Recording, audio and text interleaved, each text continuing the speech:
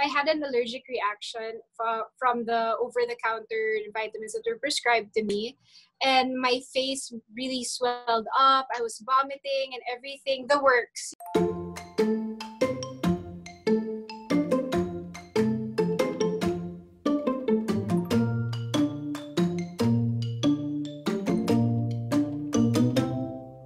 Until now in hospitals, they're still not permitting dads to be present in the delivery. I've reached a point where I'm considering maybe giving birth in a birthing center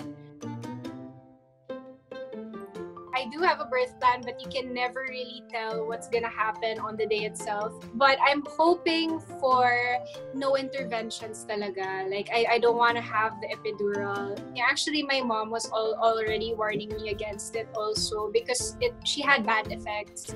Women have been giving birth for years and years and years in different settings, and this is just, I guess, how I want to do it. I want to be able to try at least to do it without the the meds and the epidural and everything.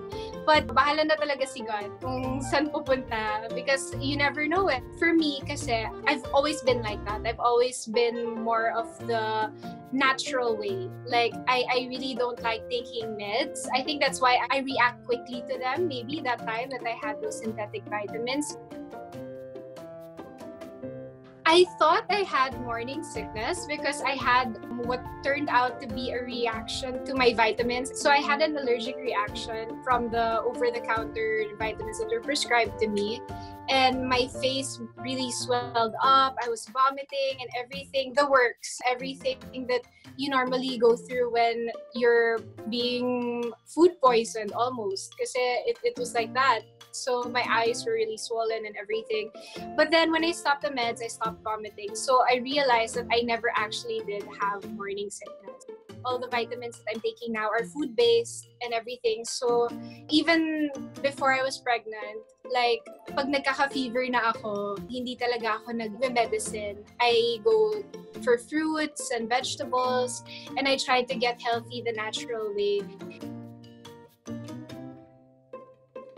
I'm gonna start Pilates by this week. That's something that I used to do, but I don't have the equipment for it. So I'm gonna take online classes for that because it's hard to do alone. And especially when it's prenatal exercises, it's good to have proper guidance as well. During my first and second trimester, I was really active on the bike not outside but just here in indoor indoor cycling lab.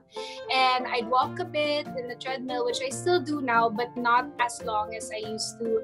I do light weights and everything but that has been lessening. And i guess parang uh, I'll be sticking to Pilates more often now towards the, the end of my pregnancy.